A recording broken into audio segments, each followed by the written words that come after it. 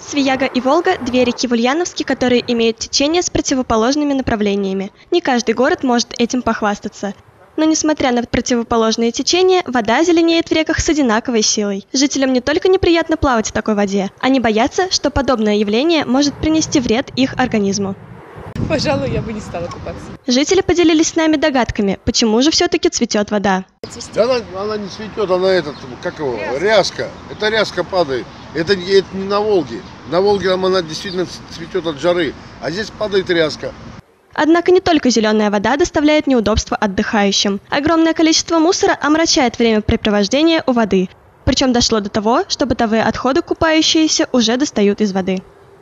Почему бы не вытащить эти, не убрать камыши? В конце концов, есть волонтеры, есть люди, которые с удовольствием начнут этим заниматься. Вот возьмем Нину Николаевну.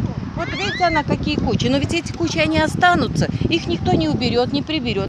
Специалисты по благоустройству пляжей делают все возможное, чтобы отдыхающих не беспокоили подобные проблемы, используя различную технику и трудовые силы.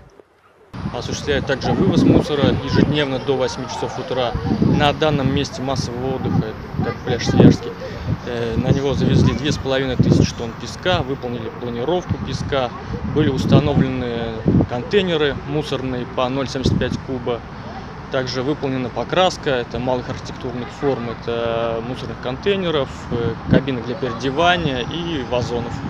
Но стоит помнить, что каждый из нас может сделать мир чуточку чище, ведь чисто не там, где убирают, а там, где не мусорят. Анна Николаева, Кристина Годунова, Новости Ульяновской правды.